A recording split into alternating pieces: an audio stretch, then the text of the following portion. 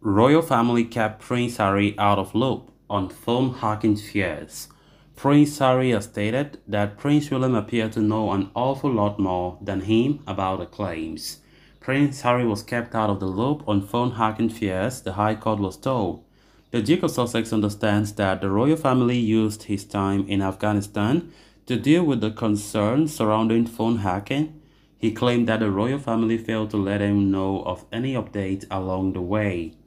Harry's lawyer said he was only aware of one claim before 2012, despite being at the epicenter of hacking claims as early as 2006.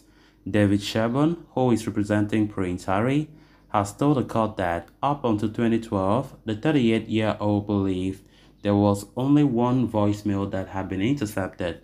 This was one left for him by his elder brother Prince William.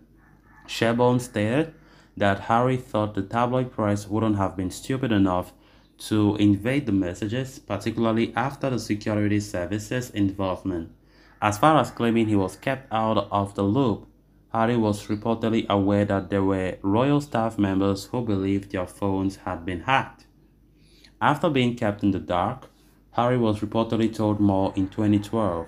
It was added that there was no criticism of the late Queen or the royal family, as this is how it was done and that he accepted it. Last month, Harry attended a court hearing at London's High Court. The visit was Harry's first time in the UK since last September. Harry wasn't the only high-profile person attending the hearing. Sir Elton John and Sadie Frost were also present, who are part of the same point joint claim. Seven high-profile people in the total gave brought the lawsuit against Associated Newspapers. Harry is said to be reunited with the royal family on May 6 for the king's coronation.